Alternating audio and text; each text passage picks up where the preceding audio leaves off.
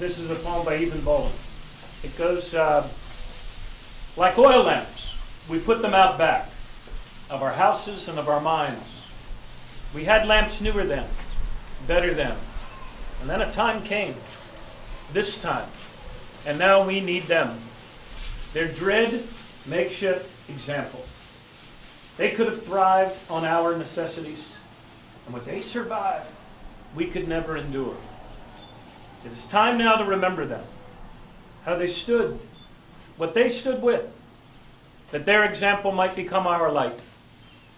Iron, cardboard, their hardships parceled in them. Patience, fortitude, long suffering in the bruise colored dawn of the new world, and all the old songs, and nothing to lose.